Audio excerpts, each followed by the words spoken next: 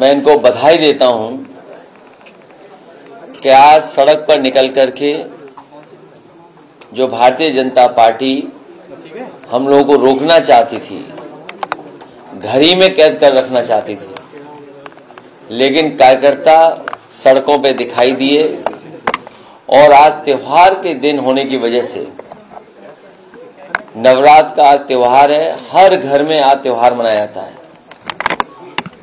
इस संघर्ष को इसी तरह हम लोग जारी रखेंगे। और आज घर के सामने ही हम लोगों ने जयप्रकाश जयंती लोक नायक भारत रत्न, समाजवादी नेता, गांधी जी के साथ और भारत की आज़ादी में भूमिका निभाने वाले जयप्रकाश जी की जयंती हम लोगों ने वहीं पर मना ली।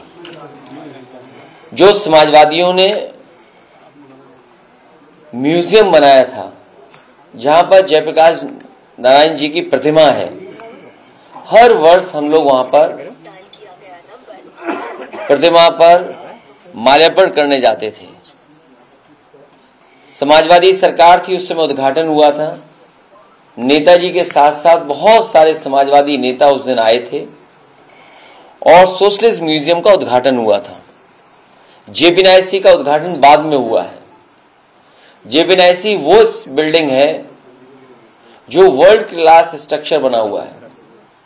जिसके अंदर आज के समय पे जो मॉडर्न चीज़ें हैं, जिस तरीके से इंडिया हैबिटेट सेंटर बना हुआ है दिल्ली में बड़े बड़े कल्चरल प्रोग्राम या कॉन्फ्रेंसेस होती हैं और समय समय पर वहाँ पर कार्यक्रम होते हैं, उससे भी बेहतर लखनऊ में नेताजी ने शिलान्यास किया था और पिछली समाजवादी सरकार में उसको पूरा किया गया था।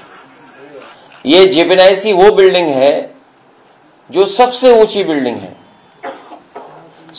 सबसे ऊँची बिल्डिंग होने के साथ साथ इसके अंदर देश का सबसे बड़ा कॉन्फ्रेंस हॉल है। और जो इसका स्ट्रक्चर है, जो कैंटिलीवर है, शायद बिना पिलर के इतना बड़ा कॉन्फ्रेंस हॉल कहीं देश में नहीं होगा जो जेपीनाईसी के अंदर है।